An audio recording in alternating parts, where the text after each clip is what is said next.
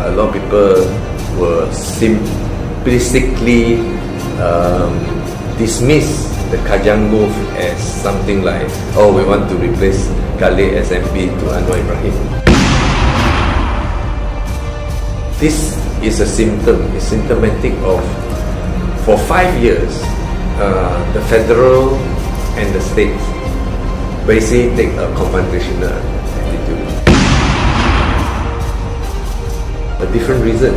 because their leaders are unable to show competencies